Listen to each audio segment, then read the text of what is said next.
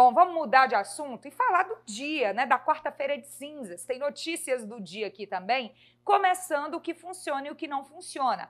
Valéria, a gente precisa dizer que a quarta-feira ainda começou bem preguiçosa aqui na nossa cidade, viu?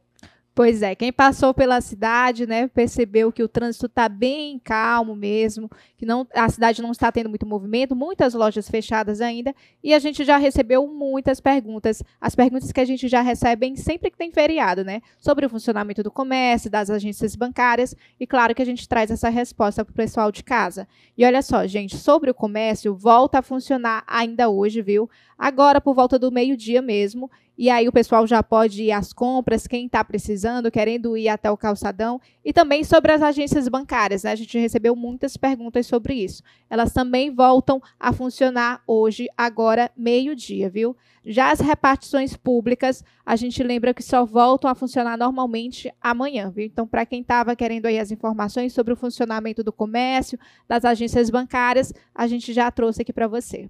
É isso. Repartições públicas do município só amanhã, do estado e do governo federal, a maioria também só amanhã, viu? Comércio, daqui a pouco abre as portas. Que horas são agora? Faltam 10 para o meio-dia. Então, já já, comércio de Imperatriz, comércio de rua volta a funcionar. Nesse momento, certamente já tem o pessoal começando a abrir as lojas, não é? Fazendo aquela limpeza Clínicas é outra pergunta que a gente tem respondido. Gente, cada clínica teve a sua programação, só que a maioria volta a funcionar hoje à tarde também, então fica ligado por aí. E no mais, os bancos funcionam hoje à tarde e aí a vida vai voltando, né? Depois de tantos dias de folga para tanta gente também, a gente segue acompanhando e trazendo as informações para você que nos acompanha também ao vivo neste momento.